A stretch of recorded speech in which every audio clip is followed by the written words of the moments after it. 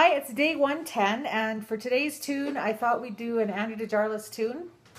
Uh, this is uh, one of my favorites of his, and it is really uh, indicative of his style. He does a lot of things where he plays in, if he plays in D, the second chord may go to C, or if he's in G, the second chord may go to F. It happens a lot in some of his tunes. So uh, this is one that this happens in. It's called Bull Moose, key of D. One, two, one.